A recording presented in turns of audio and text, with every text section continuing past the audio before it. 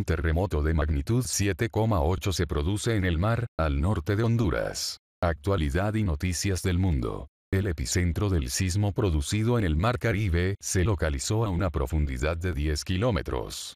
Fue emitida una alerta de tsunami. Tras el sismo, se ha decretado un aviso de tsunami en Puerto Rico y en las Islas Vírgenes estadounidenses.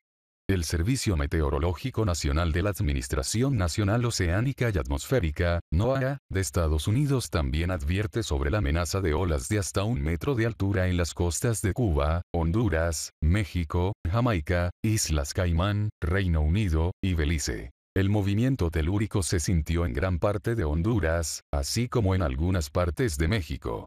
Por el momento no hay reportes sobre daños materiales ni víctimas. Este miércoles se produjo en el Mar Caribe un potente terremoto de magnitud 7,8, según datos del Servicio Geológico de Estados Unidos, USGS.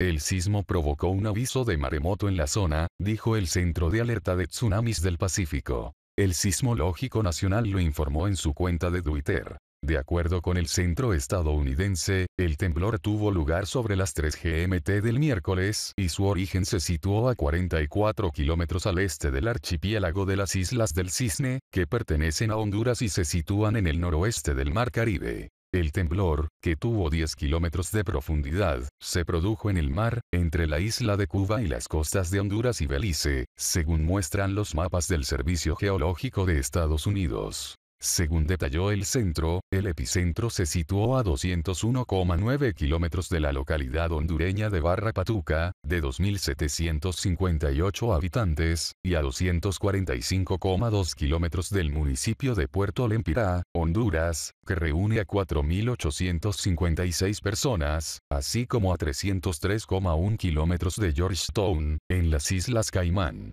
Aparentemente el epicentro del terremoto está alejado de centros urbanos, pero por el momento no se conoce cuál ha podido ser su alcance. Justo después del temblor, el Servicio Meteorológico de Estados Unidos emitió una alerta ante la posibilidad de tsunami para Cuba, Honduras, México, las Islas Caimán, Jamaica, Belice y también las Islas Vírgenes y Puerto Rico, territorios estadounidenses recientemente devastados por los huracanes Irma y María. Las olas podrían llegar a alcanzar una altura de entre 0,3 y un metro de altitud sobre el nivel del mar. Actualidad y noticias del mundo.